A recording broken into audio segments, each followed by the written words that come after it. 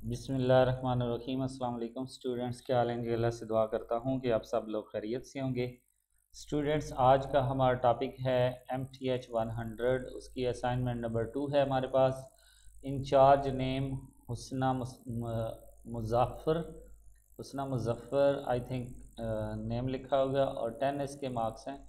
Instruction आपने पढ़ लेनी है। स्टूडेंट्स इसकी ड्यू डेट यहाँ पर नहीं लिखी हुई। वो आप एलएमएस से चेक कर लीजिएगा। क्योंकि कल एक स्टूडेंट ने मुझे सेंड की है तो मैं वीडियो बना रहा हूँ। हो सकता है इसकी ड्यू डेट आज हो या गुजर गई हो आई डोंट नो लेकिन इसका सलूशन जो है वो मैं आप तक पहुँचा रहा हूँ। स्टूडेंट्स क्वेश्चन नंबर वन है हमारे पास। Determine whether the following lines are a parallel perpendicular or neither ये दो हमें इक्वेशन दी गई हैं। हमने ये देखना है कि ये पैरेलल हैं परपेंडिकुलर हैं या नीदर है। इसके बाद क्वेश्चन नंबर टू में हमें ये दो पॉइंट्स दिए गए हैं, हमने इनका स्लोप फाइंड करना है। तो एक बार आपके हैंड आउट का विज़िट करते हैं।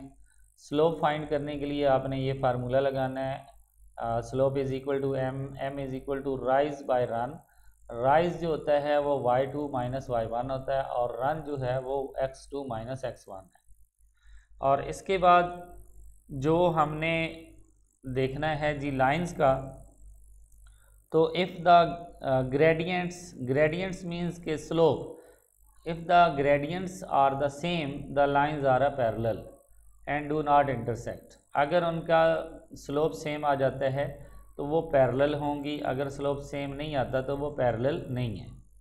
परपेंडिकुलर देखने के लिए, अगर दोनों के ग्रेडियंट्स को मल्टीप्लाई किया जाए तो इक्वल टू माइनस वन के आना चाहिए।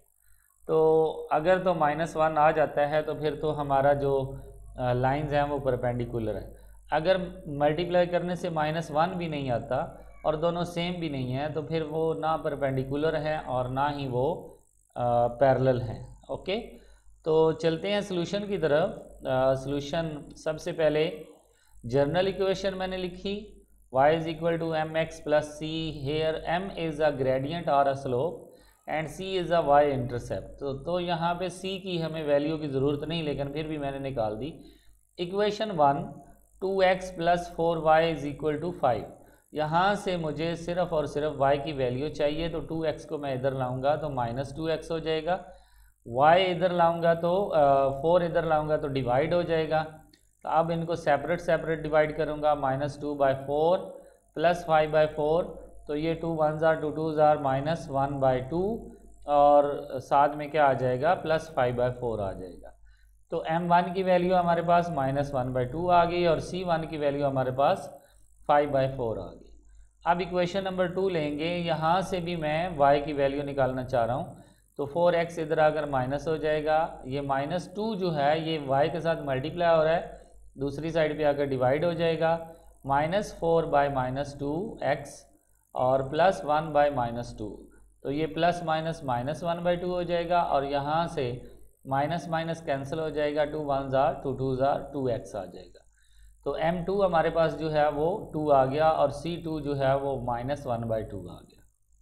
For parallel M is equal M one is equal to M two तो अगर हम देखें एम वन की वैल्यू तो हमारे पास माइनस वन बाई टू है और एम टू की वैल्यू जो है वो हमारे पास टू है तो ये दोनों इक्वल नहीं है। तो हम कह सकते हैं कि लाइंस आर नॉट पैरेलल ठीक है? लाइंस पैरेलल नहीं है. फॉर परपेंडिकुलर अगर दोनों को हम मल्टीप्लाई करते हैं तो आंसर माइनस वन आना चाहिए. तो M one multiply M two M one की value minus one by two है मल्टीप्लाई टू है टू टू से कैंसिल पीछे माइनस वन रह तो इसका मतलब ये हुआ कि इन दोनों को मल्टीप्लाई करने से माइनस वन आंसर आ रहा है. तो हम कह सकते हैं कि ये लाइंस क्या हैं? परपेंडिकुलर है. क्वेश्चन नंबर टू में दो पॉइंट्स हमें दिए गए हैं दोनों पॉइंट्स में, जो हमारे पास स्लोप है, वो हमने फाइंड करना है। इस वैल्यू को हम x वन की वैल्यू कहेंगे और इस वैल्यू को हम x टू की वैल्यू कहेंगे, क्योंकि पहली वैल्यू जो है, वो x की होती है। इस माइनस टू को हम y वन कहेंगे और फोर को हम y टू कह देंगे, ठीक है?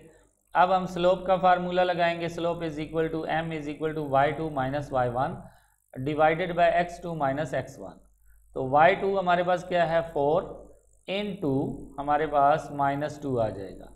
और एक्स टू हमारे पास माइनस सिक्स है और माइनस थ्री आ जाएगा। तो माइनस सिक्स माइनस थ्री ऊपर हमारे पास माइनस माइनस प्लस टू हो जाएगा और नीचे माइनस माइनस होंगे प्लस लेकिन साइन माइनस का।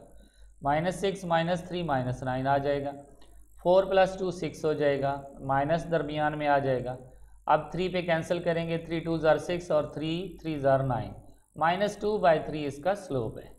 ओके स्टूडेंट्स आपसे ये रिक्वेस्ट करूँगा कि अगर आपकी कोई भी असाइनमेंट आए वीडियो के डिस्क्रिप्शन में मेरा व्हाट्सएप नंबर दिया हुआ है। मेरे व्हाट्सएप नंबर पे जस्ट क्वेश्चन फ़ाइल सेंड कर दें। उसका जो सोल्यूशन है इन बहुत जल्द जो है, वो आपको यूट्यूब पर नज़र आएगा। सबसे पहले और 100 परसेंट एग्जैक्ट सोल्यूशन आपको मिलेगा।